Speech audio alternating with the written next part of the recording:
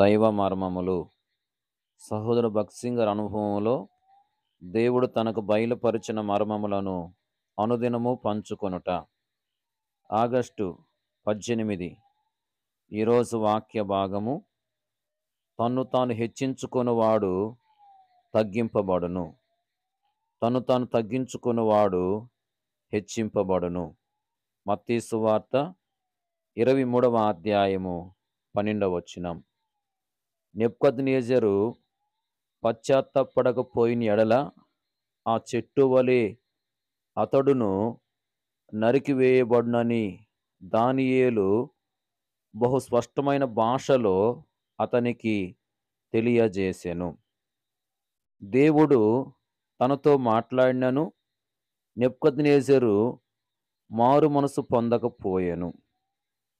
అతని మార్పుకై దేవుడు పన్నెండు నెలలు కనిపెట్టాను. అతడు ఆ హెచ్చరికను అలక్ష్యము చేశాను ఎంతో గర్వముగా నా రాజ్యము నా భవనములు నా పనులు చూడుము అని ఈ రాజు పలికాను.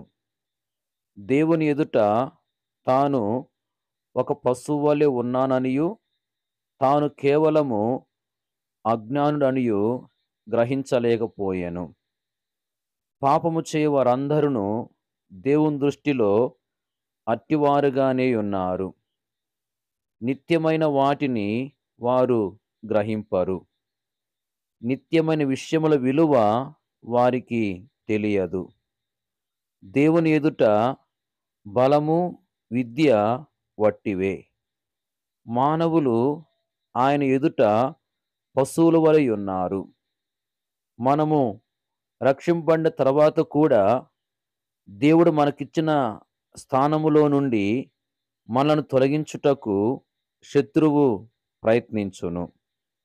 ప్రభువు తన ప్రజలు తనతో పాలివారిగా ఉండవలనని తనంతట తానే కోరుచున్నాడు. తిరిగి జన్మించిన వారందరూ తనతో సహపనివారిగాను తన పాలి భాగస్థులుగాను ఉండవలనని కోరుచున్నాడు. మనము జయించువారముగా ఉండినట్లయినచో నిజముగా దేవునితో పాలి భాగస్థులమై ఉందుము దేవుని దూతలకు సహా తీర్పు తీర్చువారముగా ఉందుము. కొరిందీలకు రాసిన మొదటి పత్రిక ఆరవ అధ్యాయము మూడవ వచనం. దేవుడు రాజులకు అధికారులకు తీర్పు తీర్చినప్పుడు ఆ తీర్పులో మనము ఆయనతో పాలిభాగస్థలముగా ఉందుము. మనలను మనము హెచ్చించుకుంట ద్వారా ఎక్కువ మహిమ కలుగునని సహజముగా తలంచేదము.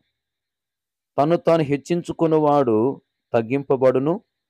తను తను తగ్గించుకున్నవాడు హెచ్చింపబడును. మత్తీసు వార్త ఇరవై మూడవ అధ్యాయము పన్నెండవ వచనం. ఈ వాక్యము మనకు చక్కగా తెలియను. ఎన్నో మార్లు దీన్ని బైబిల్లో చదివితిమి. అయినను మనలను హెచ్చించుకున్నటయే మనకు ప్రీతికరముగా ఉండును.